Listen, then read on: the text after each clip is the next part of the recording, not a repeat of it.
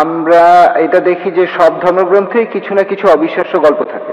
যেমন ধরেন, কোরআনে আছে যে আবাবিল পাখিরা যুদ্ধক্ষেত্রে শত্রুদের উপরে পাথর ফেলছে, আর এই সব গল্প।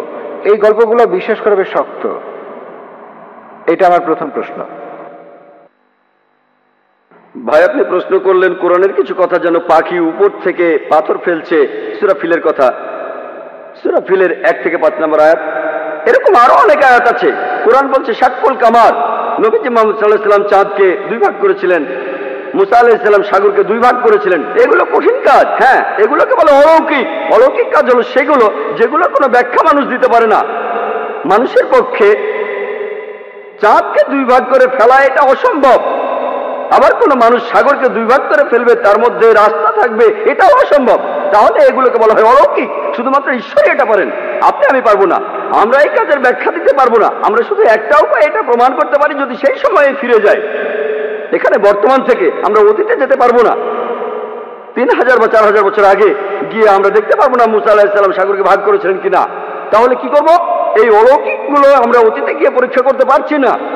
কিন্তু পবিত্র কোরআনে এমন অনেক কথাই আছে যেগুলো এখন সত্যি প্রমাণিত হয়েছে। যেমন ধরুন, কোরআন বলছে বিজ্ঞান নিয়ে কথা। বিগ ব্যাং সম্পর্কে কোরআন বলছে চাঁদের আলো তার নিজস্ব আলো নয়।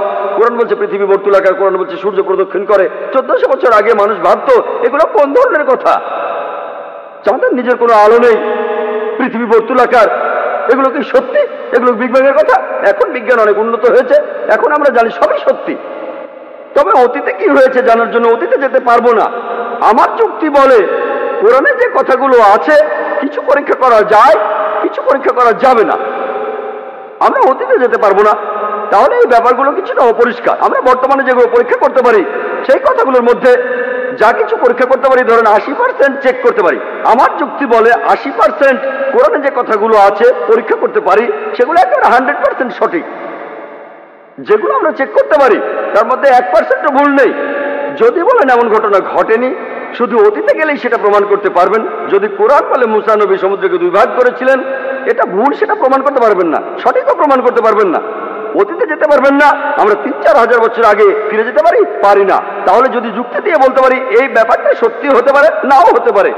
সত্যি হতে পারে, নাও হতে পারে। পাখিগুলো হয় পাথর ফেলেছিল, না হয় ফেলেনি। ঠিক? আমরা বলতে পারি ব্যাপারটা পরিষ্কার না। যদি পারমাণবিক বোমার কথা বলতেন, হাজার বছর আগে তারা বিশ্বাস করতো? বিশ্বাস করতো? তারা বলতো, পাগলের প্রলাপ, ঠিক না ভুল? কিন্তু এখন তো আমরা বিশ্বাস করি। কারণ বিজ্ঞান উন্নত হয়েছে, এখন দেখি পারমাণবিক বোমা, আণবিক বোমা, তাহলে পাখিরা পাথর ফেলছে এটা সমস্যা কোথায়? এটা খুব সোজা। পারমাণবিক বোমা আরও কঠিন। তাহলে বুঝতে পারছেন, আমরা অতীতে যেতে পারব না। আমার যুক্তি বলে যেগুলো আজকে পরীক্ষা করতে পারি কোরআনের যে বিষয়গুলো ভালোভাবে দেখতে পারি, সেগুলোর মধ্যে পুরো হান্ড্রেড পার্সেন্ট সত্যি বলে প্রমাণিত হয়েছে। টোয়েন্টি পার্সেন্ট আমরা পরীক্ষা করতে পারব না, কারণ অতীতে যেতে পারব না ভবিষ্যতে যেতে পারি না। বেহেস্তার দোজকের অস্তিত্ব বৈজ্ঞানিকভাবে প্রমাণ করতে পারব না। হয়তো বলবেন যে, ভাই জাকির, আপনি একজন ডাক্তার, কীভাবে বেশ দোজক বিশ্বাস করেন? আমি বলি, এটা টোয়েন্টি পার্সেন্ট অস্বচ্ছ অংশের কথা। আমার যুক্তি বলে যখন এইটটি পার্সেন্ট কোরআনের যতখানি আমরা চেক করতে পারি, এগুলো হান্ড্রেড পার্সেন্ট সত্যি বলে প্রমাণিত হয়েছে। সেখানে পয়েন্ট ওয়ান পার্সেন্টও ভুল নেই। আমার যুক্তি বলে এই টোয়েন্টি পার্সেন্টও ইনশাল্লাহ আল্লাহ চাইলে সেটাও সত্যি প্রমাণিত হবে। হয়তো ভবিষ্যতে বিজ্ঞান উন্নত হবে, বিশ বছর, পঞ্চাশ বছর পরে আমরা পরকালের জীবন সম্পর্কে জানতে পারব, আমরা বেহেস্ত যোগ সম্পর্কে জানতে পারব। আমার যুক্তি বলে এটা যুক্তিপূর্ণ বিশ্বাস যে কোরআনের point zero zero zero zero one পার্সেন্টও ভুল প্রমাণিত হয়নি। এইটটি পার্সেন্ট একেবারে পুরোটাই সত্যি। তাই আমার যুক্তি বলে যে ইনশাল্লাহ বাকি টোয়েন্টি পার্সেন্ট যেটা চেক করা যাচ্ছে না, অতীতে ফিরে গিয়ে বা ভবিষ্যতে গিয়ে ইনশাল্লাহ সেগুলো সত্যি হবে। আশা করি উত্তরটা পেয়েছেন।